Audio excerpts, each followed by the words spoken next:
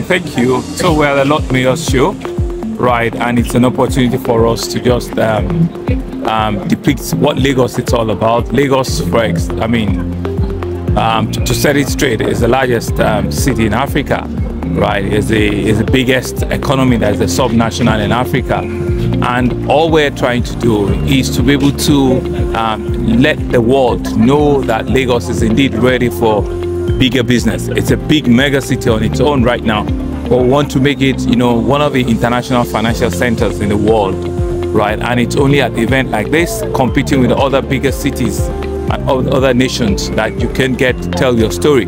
So it's storytelling time for us, but really, really, I'm leading from the front for um, everyone in the world, truly, really, to use the Lord Mayor's show, who we're drawing in partnership to be able to say that Lagos is indeed ready you know, to take over the world, you know, in the financial space, you know, in the economic space, and to truly, really be able to tell both the Lagos, the Nigerian, and the African story. So that's why we're here, and we're truly excited to be part of this show.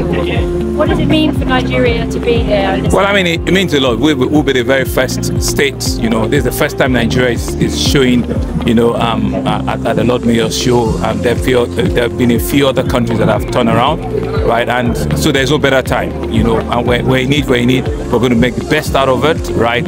and be able to, you know, let other parts of the world know who we are, understand our culture, understand that we're the center of, you know, culture, entertainment, music in the whole of Africa, and to also be able to, for people to know, you know, um, what we have, you know, to give to the world. Yeah!